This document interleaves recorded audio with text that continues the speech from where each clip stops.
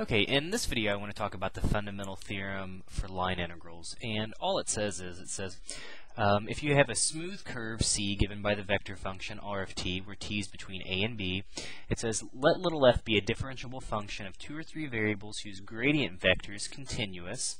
Remember, little f is going to be basically a potential function for the for the uh, excuse me for the conservative vector field. It says to evaluate the line integral, all it does all it says is is you plug the endpoints into the potential function. So let's do a quick example here. Suppose we want to evaluate this line integral. 2x plus yz dx plus xz dy plus yx dz. C is going to be the straight line segment from the origin to the point 1, 2, comma, negative 1.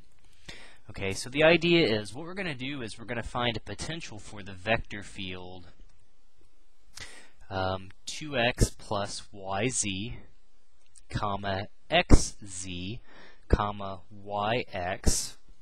And then we're simply going to use that. We're just, we're just going to plug in the endpoints into that potential function, and we'll be done. Okay, so this is going to be sort of our r of a. We can think about it that way. And this will be our point um, r of b. Again, really it's a vector pointing at those points. Um, we have found a, a potential function um, we found a potential little f for this vector field in a different video and we found that little f um, was the function x squared plus xyz plus c. And you can actually use any uh, any potential function. So let's just set the constant equal to zero and that'll make computations a little bit easier it says now simply to evaluate this line integral, all we have to do is, well, we know our potential function, which is this, and I'll, I'll, definitely, there should be a link somewhere in this video for finding this potential function, which can be certainly a little confusing and a little tedious for sure. So if you haven't seen this yet, um, might be a little confusing the first time you see it.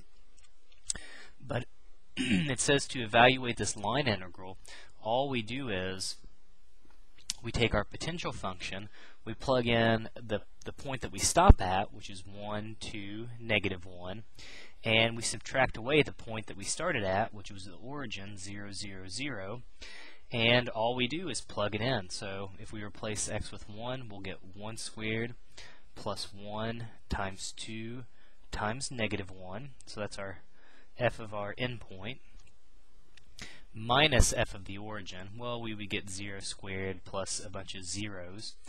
And if we evaluate this, we get 1 squared, which is 1. 1 times 2 times negative 1 is negative 2.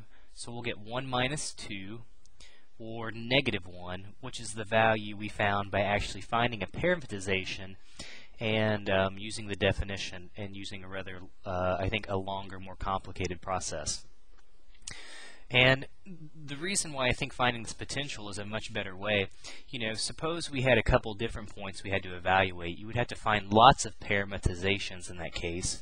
Whereas here, all you need to know is a potential function, and again, you're just plugging in the endpoints, so it makes life a lot easier. So I'll definitely provide some links to those other topics that I mentioned in here that you need, especially finding the potential. Um, without the potential, things are, you know, obviously pretty tricky.